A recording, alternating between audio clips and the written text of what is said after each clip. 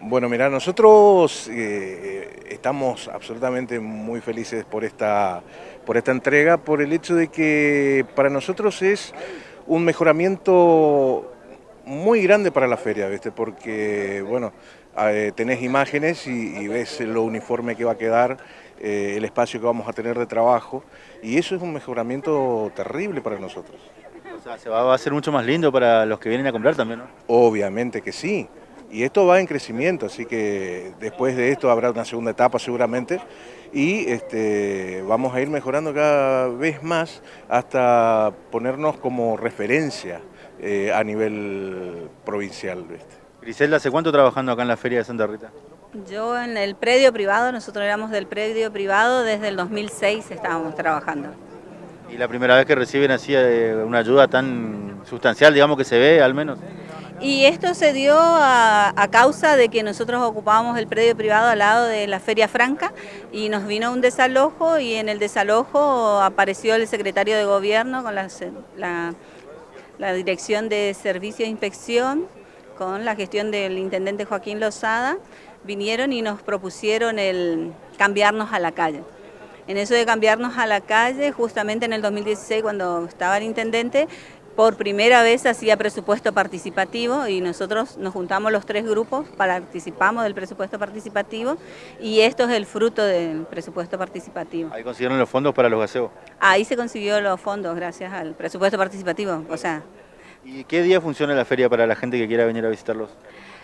La feria funciona los días domingo y los miércoles, todos los domingos y los miércoles. ¿Instalan acá sobre la Monseñor Andrea? Sí, ese es el predio que nos dieron una vez que nos cambiamos, la gente que estaba sobre Chacabuco, se cambió acá en Monseñor de Andrea, el predio privado también, y la gente que estaba ya en Monseñor de Andrea, compartimos el lugar y aprendimos a trabajar juntos. ¿Cuántos feriantes más o menos son?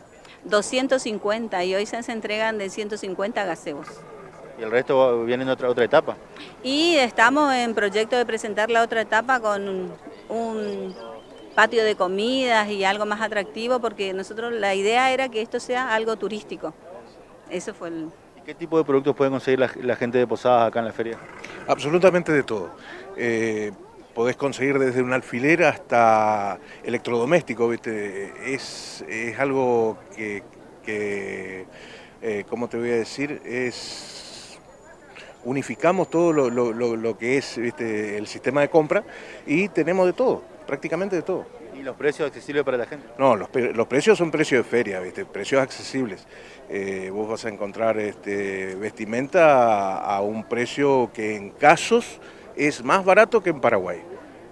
Más barato que la salada que tenemos acá. Eh, hay buenos precios, hay buenos precios. Nosotros estamos eh, muy contentos porque hay que contar un poco la historia de este proceso. Este es un proceso que hay que irse a... Nosotros habíamos asumido hace poco la gestión municipal y esta feria ya existía, ya existía la Feria Franca y lo que era la, feria que funcionaba en el lote lindante al espacio de la Feria Franca y sobre el bulevar de la avenida Chacabuco. Esto generaba muchas dificultades, muchas complicaciones y se complejizó cuando se dejó de alquilar a los feriantes el espacio que se cedía al lado. Ahí teníamos unas grandes dificultades y se empezó a trabajar con mediación.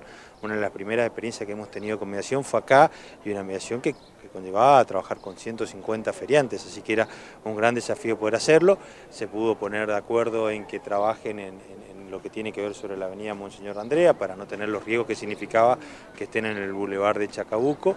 Y a partir de ahí, eh, con mucha inteligencia, los feriantes participaron del presupuesto participativo y bueno, y lo, que se les solicitó en aquel momento eran estos gazebos, que, que, son 150 gazebos, más los exhibidores, más lo que tiene que ver con las mesas, así que bueno, hoy poder concretizar eh, esto que de alguna manera conlleva primero la, virtud del diálogo para ponernos de acuerdo a los posadeños, segundo la virtud de la participación y entender que la mejor decisión para asignar los recursos de todos los posadeños está en el presupuesto participativo porque es la propia sociedad la que define y marca sus prioridades. Y hoy bueno tenemos una primera experiencia de comercio a cielo abierto, esto eh, genera una mejor calidad en cuanto a los controles que además se hacen permanentemente acá por parte del municipio y jerarquiza también un ámbito que estaba hace mucho tiempo funcionando en la ciudad.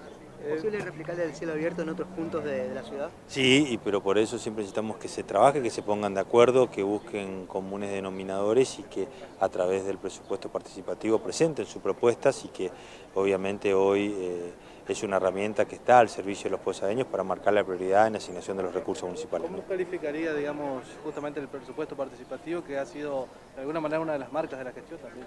La verdad que para nosotros el presupuesto participativo lo que busca es eh, tomar la mejor decisión para la inversión del gasto del municipio. Eh, hay una vieja frase que dice Vox Populi, Vox Dei, es decir, la voz del pueblo es la voz de Dios, y no hay mejor manera que de marcar las prioridades que no sea a través del presupuesto participativo. Este año tuvimos presupuesto participativo con 15.000 pues, años que participaron y que decidieron en qué invertir los recursos. De, eh, muchos de distintas características, muchos de obra pública, pero también muchos de, inversión social que tiene que ver con guarderías, con priorizar determinadas inversiones que son importantes, así que bueno, para nosotros eh, el presupuesto participativo genera una mejora en la calidad de la gestión, de la administración de los recursos públicos, porque es la propia sociedad la que marca cuáles son sus prioridades.